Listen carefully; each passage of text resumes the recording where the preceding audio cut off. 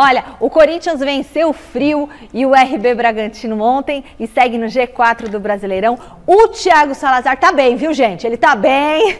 Ele foi ontem lá para a Neoquímica Arena e agora ele conta como que foi a partida depois de passar um frio danado. Dá só uma olhada. Uma aventura congelante fechou a 24ª rodada do Brasileirão.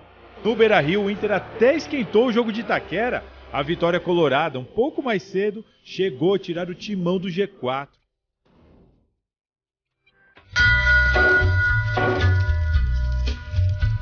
Mas o Corinthians foi frio e calculista contra o Bragantino. Que bom que valeu a pena passar um pouquinho de frio, né? Time completo em campo, marcação alta, pressão, imposição.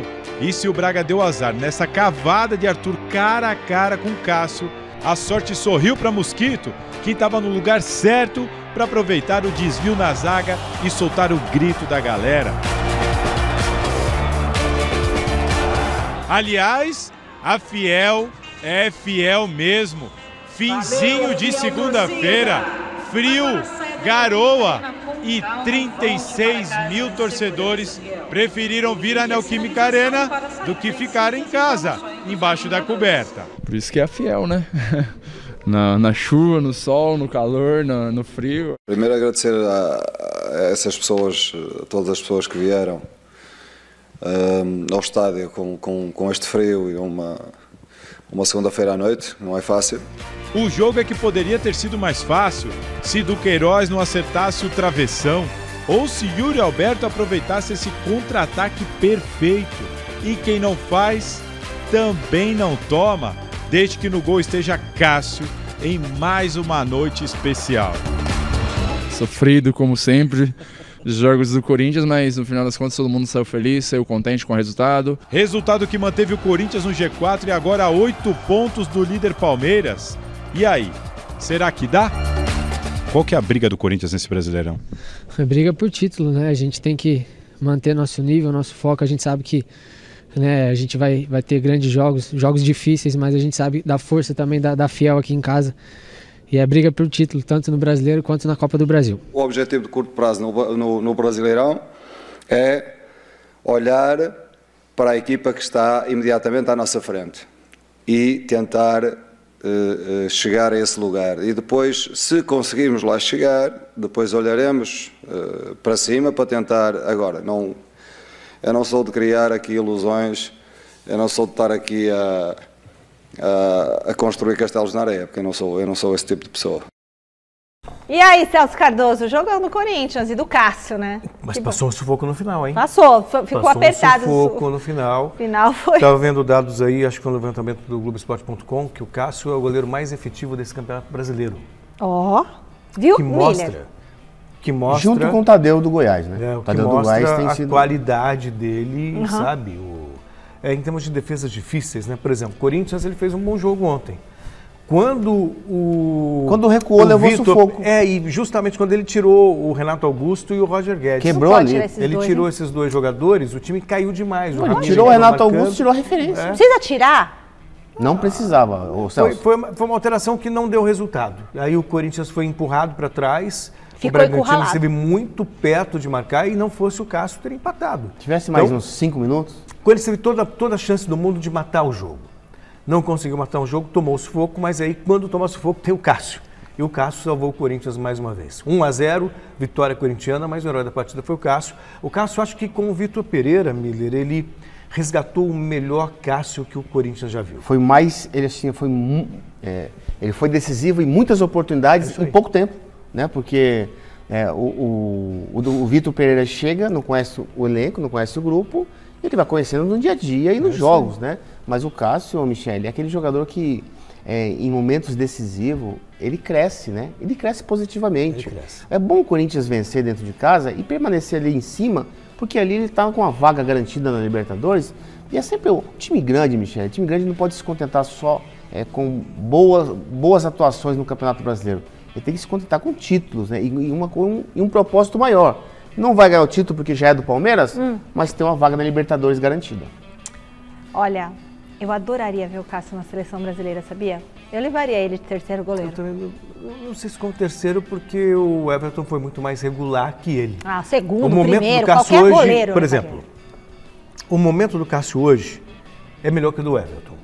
Só que nas últimas duas temporadas o Everton foi mais regular que ele. Isso. Então por isso ele merece estar na seleção É o brasileira. seguinte, o Cássio cresceu dos três meses pra cá. É isso aí. Ele não tá na temporada toda no mesmo nível, diferente do Everton. Ah, mas Ué. seleção você não tem que estar bem naquele momento ou não? É a consistência. Não, a gente tá falando, de- comparando os dois, né? O Everton tem dois anos que ele tá numa é regularidade muito grande. Pra você hoje, quem você levaria? Hoje, se a Copa fosse hoje. O Everton. E você? Pela regularidade o Everton. E eu, o Cássio. Tá? Mas eu gosto muito do Esse é Everton. terceiro goleiro mesmo? Bom, mas eu levar ti- titular, eu levo. Vai, tem mais Corinthians no Gazeta Esportiva, agora ao vivo com o Salazar. E olha como ele se comportou. Ele está hoje na nossa redação. Boa noite, Thiago Salazar. Tá quentinho. Tô sabendo que você tá só com uma calça. ele que contou pro Fini que hoje ele veio só com uma calça, não veio com duas, porque hoje tá calor. E você tem um trechinho de uma entrevista com o Vitor Pereira, né, Salazar? O que, que ele falou? Só com uma calça, sem calça térmica, sem casaco, hoje aqui na redação, tranquilo, depois daquele frio lá em Itaquera, né, Michele? Boa noite para você, para todo mundo que está acompanhando o Gazeta Esportiva. Vou dar meu pitaco nessa discussão de vocês, porque é um assunto que eu trago, ó, faz um tempo lá nas minhas redes sociais. Eu levaria o Cássio para a Copa do Mundo. Cássio, para mim, vive grande fase, é decisivo, é milagreiro nos pênaltis, enfim. Para mim é momento. O Cássio é um grande goleiro, vive um grande momento. Eu levaria também o Cássio para a Copa do Mundo, só para empatar essa, essa disputa aí de vocês agora entre Cássio e Everton. Mas vamos falar de Corinthians, quem também foi muito bem, além do Cássio, foi o Fausto Vera, jogador que chegou há pouco, há pouco tempo, argentino, está se adaptando, está ganhando, tá ganhando espaço, está com moral com o Vitor Pereira para muita gente foi ontem o melhor em campo de Corinthians e Red Bull Bragantino. E a notícia que veio da Argentina é que o Fausto Vera deve ser convocado para os dois últimos amistosos que a Argentina vai fazer antes da Copa do Mundo contra Jamaica e Honduras, dias 23 e 27 de setembro. Ou seja, já pensou o argentino indo para a Copa do Mundo logo depois de chegar aqui para o Corinthians? É uma possibilidade, assim como é uma possibilidade dele desfalcar o Corinthians agora nessa reta final por causa dessas convocações, se elas forem confirmadas. Vamos aguardar. O que a gente sabe de concreto agora é que o Duqueiroz não vai poder enfrentar o Internacional no domingo que vem na Neoquímica Arena, porque levou o terceiro cartão amarelo amanhã e está suspenso. Desfalque importante para o Corinthians, que já não tem Maicon, que ainda se recupera da fratura no pé. E aí tinha uma certa expectativa, será que vai dar tempo do Maicon voltar para substituir o Duqueiroz? Não vai ser por aí, não. E o Vitor Pereira deu todos os detalhes da recuperação do camisa 5 do Corinthians. Vamos ouvir então o técnico português. Porque o Maicon, que eu ainda hoje vi, está em tratamento, ainda não pôs o pé no chão por, por, por, em consequência da fratura, portanto ainda está numa fase ainda está numa fase prematura. Agora, quando o Maicon estiver bem, isso é uma mais-valia para nós, não tenho, não tenho dúvidas absolutamente nenhumas. É um jogador que vem acrescentar, acrescentar qualidade, acrescentar eh, coisas importantes no nosso jogo.